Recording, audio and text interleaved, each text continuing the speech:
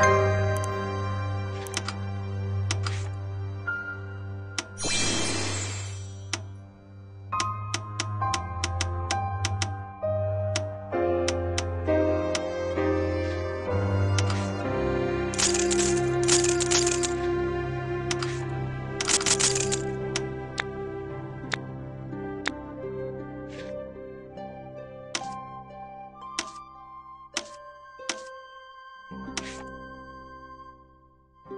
take a picture of me now.